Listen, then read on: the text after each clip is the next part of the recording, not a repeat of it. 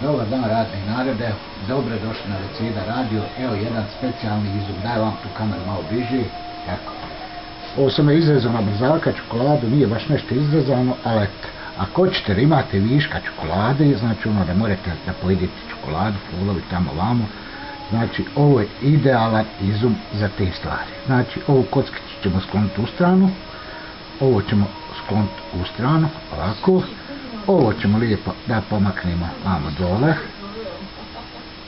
ovako, a ovaj dio ćemo da pomaknemo vamo gore. Čokolada je još uvijek cijela, dobro nije to baš dobro izrezano, nema veze, čokolada je cijela, a kockica je ostala. Njam, njam, njam. Hajde, dobro.